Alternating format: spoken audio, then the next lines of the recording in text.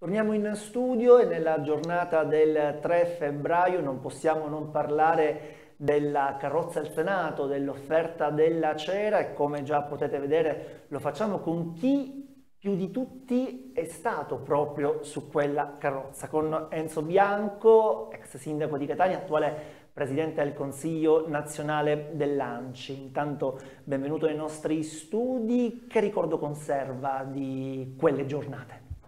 Grazie, grazie di cuore, grazie per questo invito. Eh, vedete, è difficile spiegare ai miei colleghi, a chi è stato sindaco in città italiane o in città europee, mi capita di incontrarne ogni giorno molti, no? nelle responsabilità che ho come Presidente del Consiglio nazionale dell'ANCI e nel Comitato delle Regioni, spiegare eh, che cos'è la festa di Sant'Agata e che emozione si provano. Eh, io sono arrivato a Catania, non sono nato a Catania, ma sono arrivato a Catania bambino. Abitavo a due passi dalla cattedrale ed ero anche chierichetto della cattedrale. Quindi ho vissuto la festa di Sant'Agata sin dal mio arrivo a Catania quasi da dentro. Eh, e devo dire che è un'emozione eh, inenarrabile. Eh, la sera del 3, per esempio, no? come, come, oggi.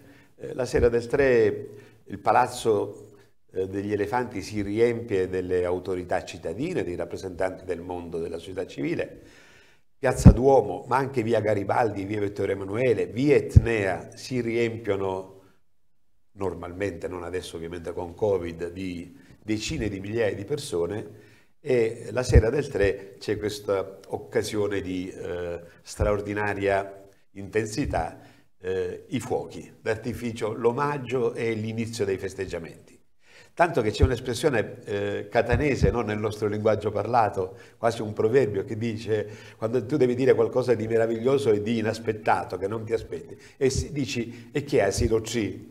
Eh, per, per, per, indicare la meraviglia incredibile che si riesce a realizzare. Tra l'altro abbiamo... A, Abbiamo a Catania, nella provincia di Catania, uno dei più grandi fuochisti, artisti di fuoco di tutta Italia.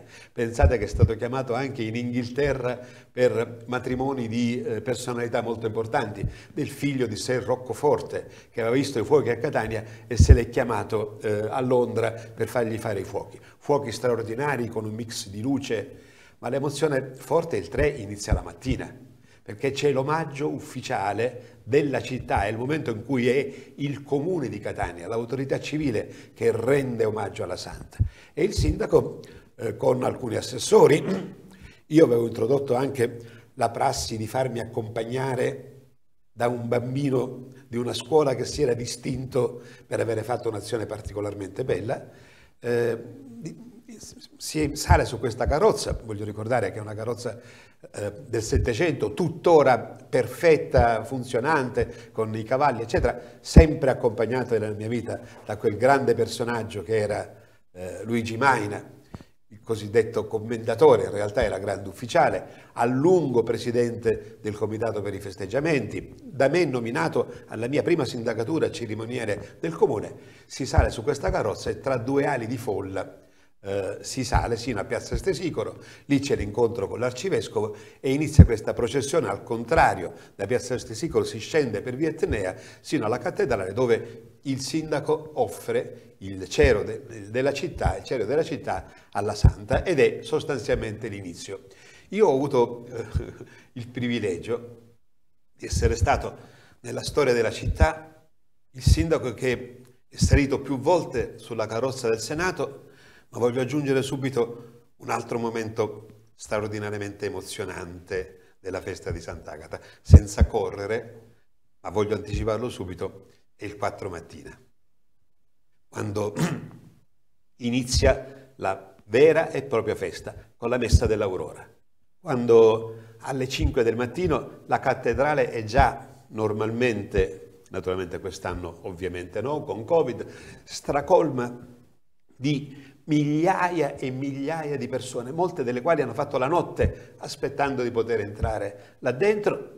Il sindaco si avvicina con il parroco della cattedrale, con l'arcivescovo, con il presidente del comitato dei festeggiamenti, nella cappella eh, dove è custodita le reliquie, quella che a Catania chiamiamo a Cammaredda, E il sindaco ha il privilegio, nel silenzio assoluto, pur essendoci migliaia di persone, guardate mi viene la pelle d'oca, anche adesso a ricordarlo, a quel momento si sente eh, una delle chiavi, perché una parte delle chiavi ce l'ha la cattedrale e una parte ce l'ha il sindaco, il primo colpo di mandata, con queste vecchie chiavi lunghe, cose nel silenzio assoluto, lo dà il sindaco. Ed è qualcosa di assolutamente indimenticabile. Il sindaco entra con l'arcivescovo nella cammarella, col presidente del comitato, con Maina. Maina si era riservato il ruolo di metterci le ali, perché il busto reliquario di Sant'Agata ha, ha delle ali che vengono smontate quando la santa sta là dentro e lui metteva le ali ed era qualcosa di straordinario. Sono momenti che non si dimenticano, voglio ricordarlo a tutti, è di gran lunga la più grande festa religiosa del nostro paese ed è riconosciuto come una delle prime tre grandi feste al mondo della cristianità, con la processione dei misteri a Siviglia e con una festa importante eh, in Perù, siamo a livelli impressionanti, veramente indimenticabili. Lei prima ha sottolineato che proprio la giornata del 3 è quella giornata dove è la città e l'istituzione comune che rende omaggio ad Agata. E dobbiamo ricordare che proprio per la festa di Sant'Agata Palazzo degli Elefanti, la sede del comune, si veste a festa con questi drappi, eh, con queste bandiere dove viene richiamato il nome di Agata. Ma lei personalmente che ricordo, quali emozioni provava quando proprio era lì a salire sulla carrozza? Un momento c'è da dire anche che per i sindaci è un momento particolare perché c'è quello che è un vero e proprio test politico, l'applausometro. È vero, è vero, è vero. Guardi, eh, sia nel momento in cui si sale dentro la carrozza del Senato, ma ancora di più nettamente quando si scende a piedi tra due ali di folla da Piazza Stesicolo in Via Atenea.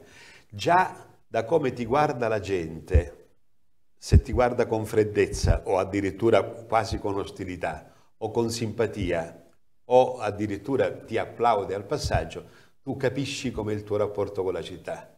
E ci sono stati molti momenti imbarazzanti in cui io non ero sindaco, ma partecipavo ugualmente, pur essendo parlamentare, tornavo a Sant'Agata e, come dire, eh, ho, tante volte nell'applausometro ho avuto successo straordinario e quello mi ha incoraggiato naturalmente poi più volte a, a ricandidarmi. Quindi eh, eh, la sera del 3 è naturalmente eh, un altro momento straordinario. A un certo punto, durante il ricevimento, il sindaco e l'arcivescovo escono sul balcone che è tappezzato di drappi, come anche Palazzo dei Chierici, ma anche come altri palazzi della via Etnea, quasi tutti i palazzi pubblici, la città metropolitana, l'ex provincia, la prefettura, molti altri anche privati espongono questo drappo eh, eh, color porpora, rosso, con la A in mezzo. E se posso rivolgere un appello, siamo al 3. Ecco, domani e dopodomani, anche se la Santa non è in giro e non fa né il giro esterno né quello interno, è comunque la festa di Sant'Agata. E quindi io, a chi non l'ha fatto o non ci ha pensato, gli rivolgerei una preghiera dal profondo del cuore. Domani, il 4 e il 5, esponiamo i drappi, perché è comunque un momento di omaggio alla Santa, anche se il busto reliquario non è in giro. È un modo di, di manifestare il nostro apprezzo, eh, il nostro apprezzamento, i nostri sentimenti, l'affetto che abbiamo verso questa donna straordinaria che con il suo martirio è il simbolo naturalmente della città. È un piccolo appello che desidero rivolgere. Ha prima citato un'altra figura, potremmo dire, storica per la festa di Sant'Aneta, quella del, del commendatore Maina. Ecco, è stata una persona che a questa festa ha dato anima e corpo? Ha dato la vita eh, eh, e devo dire, sinceramente, ha avuto tanto anche dalla festa, perché è stato un rapporto reciproco. Eh, lui di qualunque cosa si parlasse, chiunque fosse l'ospite, di qualunque cosa stavamo affrontando un problema, comunque Sant'Agata c'entrava sempre. E quando ho avuto il privilegio di aprire a Cammaredda e di fare vedere il busto reliquario a Papa Giovanni Paolo II, che io invitai a Catania e che venne a Catania e che volle vedere eh, eh, il busto reliquario di Sant'Agata, piuttosto che quando sono venuti i presidenti della Repubblica, il presidente Ciampi, altri presidenti, gli luccicavano gli occhi. Una delle cose più belle che ho potuto fare per ricambiare questo suo affetto di Sant'Agata, quando ero ministro dell'interno, eh, nel 2000, eh, come forse ricorderete, 2000 è stato l'anno santo. È stato il più grande anno santo come partecipazione della storia della cristianità. Pensate, a Roma sono venuti 27 milioni di visitatori.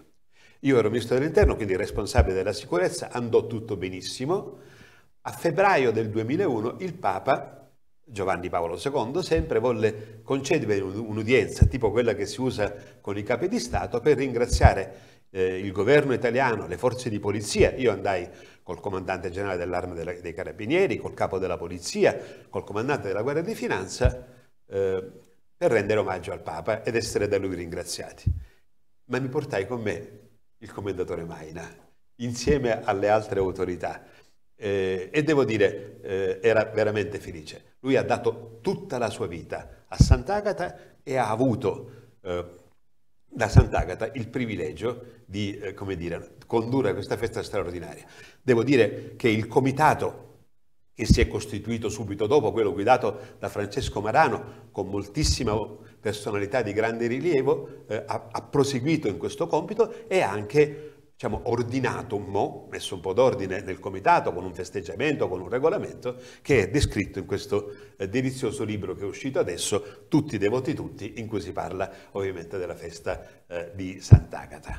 Ha fatto riferimento anche appunto alla questione comitato, quanto è difficile stare dietro alla festa di Sant'Agata anche come istituzione, perché comunque il comune in quei giorni è totalmente avvolto da questa festa. Sì, lo devo dire sinceramente, non è facile. Se tu lasci andare le cose, la festa si svolge lo stesso, perché i catanesi sono veramente nella stragrande maggioranza devoti a Sant'Agata.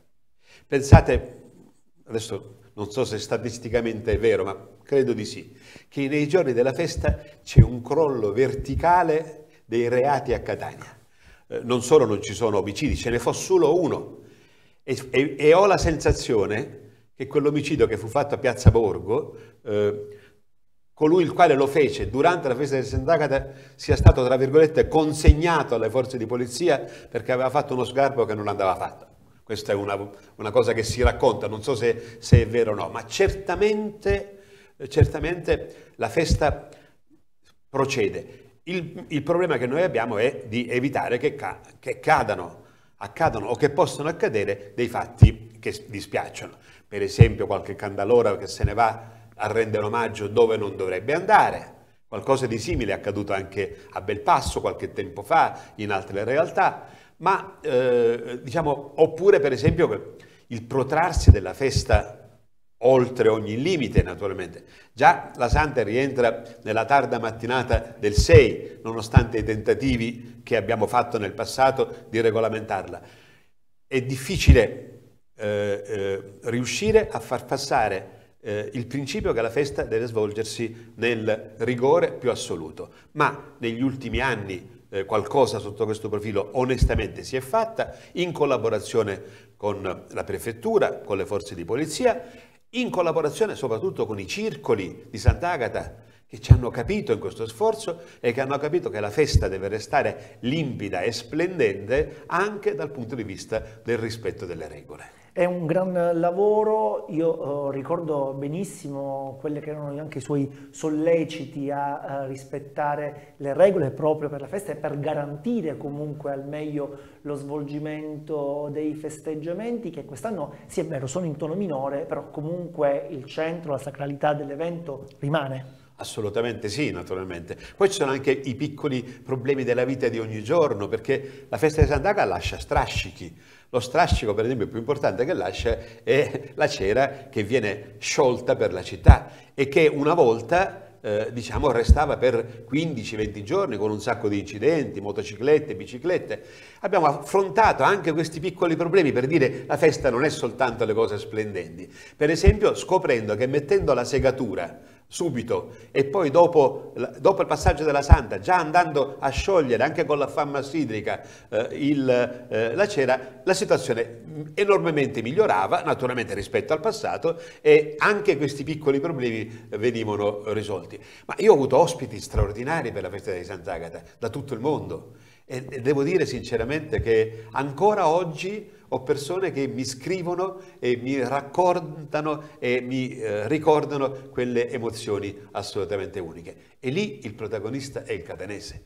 Nella salita, per esempio, eh, nella salita dei Cappuccini, per esempio. Eh, il, eh, il 4 nel, nel, giro, nel, giro, esterno, con quella curva prima di arrivare in via plebiscito. Eh, io qualche volta vado a vederla, ho un appartamento lì di fronte o alla Camera di Commercio e sei a contatto con i cittadini e li vedi e li senti respirare.